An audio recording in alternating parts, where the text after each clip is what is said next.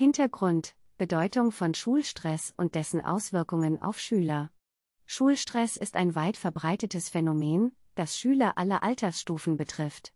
Es handelt sich um eine Form des psychischen Drucks, der durch die Anforderungen des Schulalltags, wie Prüfungen, Hausaufgaben, Leistungsdruck und soziale Interaktionen, entsteht. Die Auswirkungen von Schulstress sind vielfältig und können von leichten Unannehmlichkeiten bis hin zu ernsthaften psychischen und physischen Gesundheitsproblemen reichen. Dazu zählen Schlafstörungen, Angstzustände, Depressionen, Konzentrationsprobleme und sogar ein geschwächtes Immunsystem. Angesichts dieser potenziellen Folgen ist es von entscheidender Bedeutung, wirksame Bewältigungsstrategien zu entwickeln. Zielsetzung des Artikels Vorstellung verhaltenstherapeutischer Ansätze zur Bewältigung. In diesem Artikel konzentrieren wir uns auf die Verhaltenstherapie als eine effektive Methode zur Bewältigung von Schulstress. Verhaltenstherapeutische Ansätze zielen darauf ab, negative Denkmuster und Verhaltensweisen, die Stress verursachen oder verstärken, zu identifizieren und zu ändern. Durch praktische Techniken und Strategien bietet die Verhaltenstherapie Schülern Werkzeuge, um ihren Schulalltag gelassener zu bewältigen und langfristig zu einem gesünderen Umgang mit Stressfaktoren zu finden. Grundlagen der Verhaltenstherapie Definition und Schlüsselkonzepte der Verhaltenstherapie Die Verhaltenstherapie ist ein psychotherapeutischer Ansatz, der darauf abzielt, ungesunde oder unerwünschte Verhaltensweisen und Denkmuster zu ändern. Sie basiert auf der Annahme, dass viele psychische Probleme durch gelernte Verhaltensweisen entstehen, die im Laufe der Zeit modifiziert werden können. Ein zentraler Aspekt der Verhaltenstherapie ist die kognitive Verhaltenstherapie, KVT, die sich darauf konzentriert, die Beziehung zwischen Gedanken, Gefühlen und Verhaltensweisen zu verstehen und zu beeinflussen. Durch Techniken wie kognitive Umstrukturierung und Expositionstherapie hilft die KVT Individuen, negative oder irrationale Gedanken zu erkennen und durch realistischere und positivere zu ersetzen. Die Rolle der Verhaltenstherapie in der Bewältigung von Schulstress. In Bezug auf Schulstress bieten verhaltenstherapeutische Ansätze wirksame Strategien, um Stressoren zu identifizieren, die Reaktionen darauf zu verstehen und letztlich diese Stressreaktionen zu verändern. Durch die Arbeit an der Wahrnehmung und Bewertung von schulischen Herausforderungen können Schüler lernen, ihre Gedankenmuster so anzupassen, dass sie weniger Angst und Stress empfinden. Darüber hinaus fördert die Verhaltenstherapie die Entwicklung von Bewältigungsstrategien, die Schülern helfen, aktiv mit Stress umzugehen, anstatt sich von ihm überwältigen zu lassen. Dies kann von der Verbesserung des Zeitmanagements bis hin zur Anwendung spezifischer Entspannungstechniken reichen. Indem Schüler verhaltenstherapeutische Prinzipien anwenden, können sie nicht nur ihren Schulstress effektiv managen, sondern auch wertvolle Fähigkeiten für das Leben lernen. Diese Fähigkeiten umfassen Selbstwirksamkeit, Resilienz und die Fähigkeit, Herausforderungen auf gesunde Weise zu begegnen. Identifikation von Stressoren. Methoden zur Erkennung stressauslösender Faktoren im schulischen Umfeld. Die Identifikation von Stressoren ist ein entscheidender Schritt bei der Bewältigung von Schulstress. Um die spezifischen Auslöser zu verstehen, können Schüler Methoden wie Selbstbeobachtung und Tagebuchführung nutzen. Diese Techniken ermöglichen es ihnen, Muster und Situationen zu erkennen, die regelmäßig Stress verursachen. Zum Beispiel könnten einige Schüler feststellen, dass Präsentationen vor der Klasse oder bestimmte Fächer besonders stressig sind. Andere könnten erkennen, dass Konflikte mit Lehrern oder Mitschülern zu ihrem Stressniveau beitragen. Durch die genaue Identifikation dieser Stressoren können Schüler und Therapeuten gezielte Strategien entwickeln, um mit diesen umzugehen. Selbstbeobachtung und Tagebuchführung als Werkzeuge. Selbstbeobachtung erfordert von den Schülern, aufmerksam ihre Gedanken, Gefühle und körperlichen Reaktionen in stressigen Situationen zu beobachten. Tagebuchführung ergänzt diese Methode, indem sie ein Medium bietet, um diese Beobachtungen festzuhalten. In einem Stresstagebuch können Schüler notieren, wann und warum sie sich gestresst fühlen, wie sie darauf reagieren und welche Gedanken in diesen Momenten präsent sind. Diese Aufzeichnungen helfen nicht nur, wiederkehrende Stressmuster zu erkennen, sondern auch Fortschritte im Umgang mit Stress zu dokumentieren. Zusätzlich können solche Aufzeichnungen in Therapiesitzungen genutzt werden, um spezifische verhaltenstherapeutische Interventionen zu planen und anzupassen. Die Fähigkeit, Stressoren genau zu identifizieren und zu verstehen, ist ein wesentlicher Schritt zur Entwicklung effektiver Bewältigungsstrategien.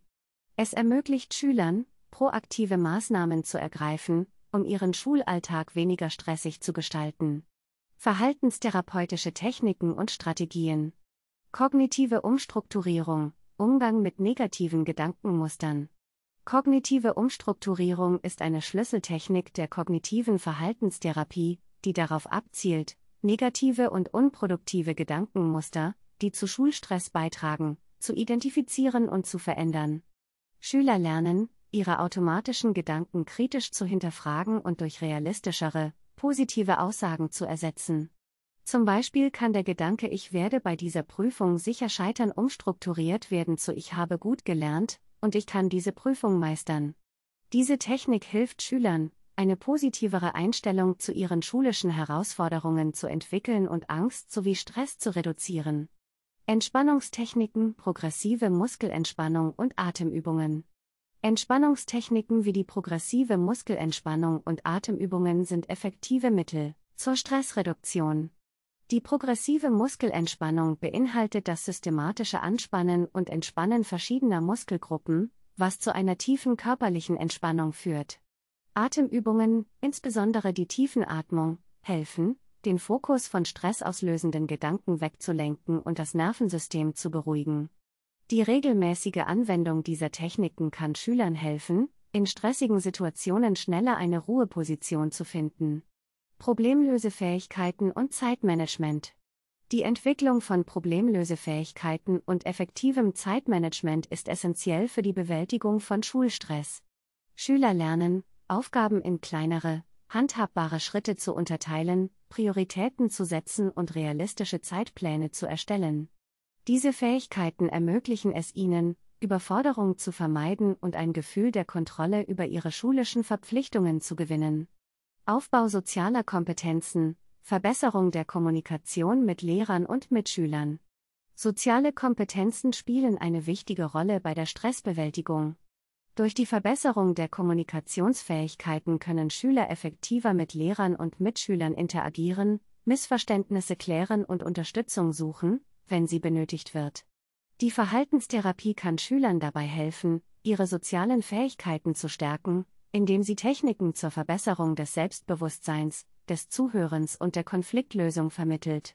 Diese verhaltenstherapeutischen Techniken und Strategien bieten Schülern praktische Werkzeuge, um den Herausforderungen des Schulalltags begegnen zu können. Indem sie lernen, ihre Gedanken und Verhaltensweisen zu steuern, können sie ihren Schulstress effektiv reduzieren und ihr Wohlbefinden verbessern. Fallbeispiele die Anwendung verhaltenstherapeutischer Methoden bei Schulproblemen lässt sich durch konkrete Fallbeispiele veranschaulichen. Diese Beispiele zeigen, wie individuell angepasste Strategien Schülern helfen können, ihren Schulstress zu bewältigen und ihre akademische sowie persönliche Entwicklung zu fördern. Fallbeispiel 1 Bewältigung von Prüfungsangst. Lena, eine 15-jährige Schülerin, litt unter erheblicher Prüfungsangst, die ihre Leistung beeinträchtigte. Durch kognitive Umstrukturierung lernte sie, ihre negativen Gedanken wie ich kann das nicht in positive umzuwandeln, etwa zu ich bin gut vorbereitet und kann mein Bestes geben. Zusätzlich setzte sie Entspannungstechniken vor und während der Prüfungen ein, um ihre Nervosität zu reduzieren.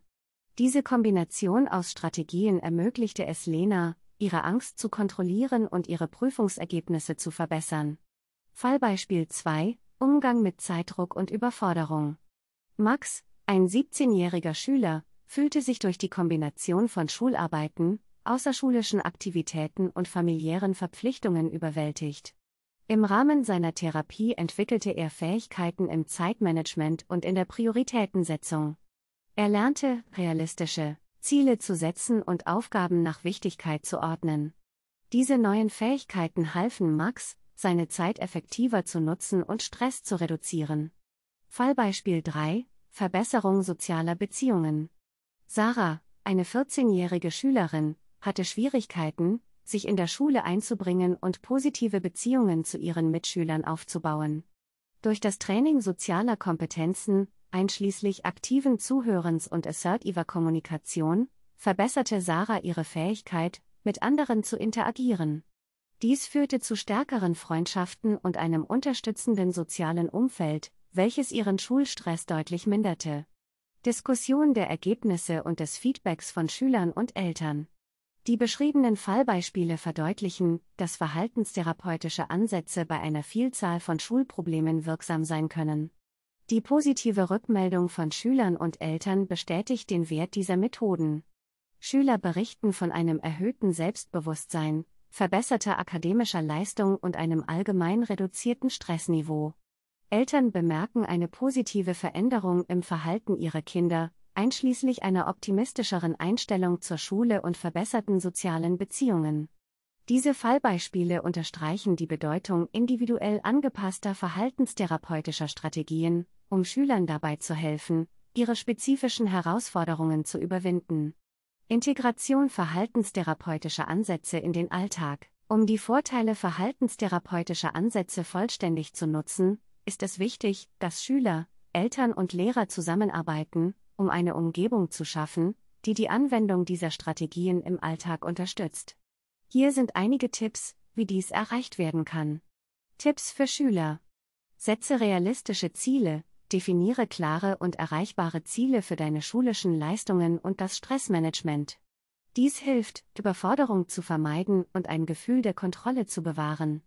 Praktiziere regelmäßig Entspannungstechniken, integriere Techniken wie die progressive Muskelentspannung oder Atemübungen in deinen täglichen Routine, um stressigen Situationen gelassener zu begegnen. Nutze Zeitmanagement-Tools, organisiere deine Aufgaben und Verpflichtungen mit Hilfe von Planern oder Apps, um ein effektives Zeitmanagement zu fördern. Tipps für Eltern.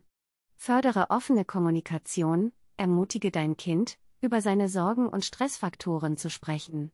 Biete Unterstützung an, ohne Druck auszuüben, und arbeite gemeinsam an Lösungen. Unterstütze eine gesunde Work-Life-Balance, hilf deinem Kind, ein Gleichgewicht zwischen Schule, Freizeit und Entspannung zu finden. Ermutige zu Aktivitäten außerhalb der Schule, die Spaß machen und entspannend sind. Sei ein Vorbild für Stressbewältigung, zeige durch dein eigenes Verhalten, wie man effektiv mit Stress umgeht. Dies kann eine positive Wirkung auf dein Kind haben und ihm helfen, seine eigenen Strategien zu entwickeln. Tipps für Lehrer. Schaffe ein unterstützendes Klassenzimmerumfeld, fördere eine Atmosphäre, in der Schüler sich sicher fühlen, Fragen zu stellen und Unterstützung zu suchen. Achte auf Anzeichen von Stress bei Schülern und biete Hilfe an. Integriere Entspannungsmomente in den Schulalltag, biete kurze Entspannungsübungen oder Atemtechniken an, um den Schülern zu helfen, Stress abzubauen. Lehre Zeitmanagement und Studienfähigkeiten, integriere Lektionen über effektives Zeitmanagement und Studientechniken in den Unterricht, um Schülern zu helfen, ihre akademischen Aufgaben besser zu bewältigen. Durch die Integration dieser verhaltenstherapeutischen Ansätze in den Alltag können Schüler nicht nur ihren Schulstress effektiv managen, sondern auch Fähigkeiten entwickeln, die ihnen langfristig zugutekommen. Schlussfolgerung In diesem Artikel haben wir die Bedeutung von Schulstress und dessen potenzielle Auswirkungen auf Schüler beleuchtet. Durch die Vorstellung verhaltenstherapeutischer Ansätze zur Bewältigung von Schulproblemen wurde deutlich, dass es effektive Strategien gibt, um den Umgang mit Stress zu verbessern. Die Grundlagen der Verhaltenstherapie, die Identifikation von Stressoren, die Anwendung spezifischer Techniken und Strategien sowie die Integration dieser Ansätze in den Alltag bieten Schülern, Eltern und Lehrern wertvolle Werkzeuge. Die Fallbeispiele illustrieren, wie individuell angepasste verhaltenstherapeutische Strategien Schülern helfen können, ihre spezifischen Herausforderungen zu überwinden. Durch die Anwendung dieser Techniken können Schüler lernen, ihre Gedanken und Verhaltensweisen zu steuern, was nicht nur zu einer Reduzierung von Schulstress, sondern auch zu einer Verbesserung ihres allgemeinen Wohlbefindens führt. Es ist wichtig zu erkennen, dass der proaktive Umgang mit Schulstress eine gemeinsame Anstrengung erfordert. Lehrer und Eltern spielen eine entscheidende Rolle dabei, unterstützende Umgebungen zu schaffen, die die Anwendung verhaltenstherapeutischer Prinzipien fördern. Letztendlich können diese Strategien Schülern helfen, nicht nur mit dem aktuellen Schulstress umzugehen, sondern sie auch auf zukünftige Herausforderungen vorbereiten und ihnen Werkzeuge an die Hand geben, die sie ein Leben lang nutzen können.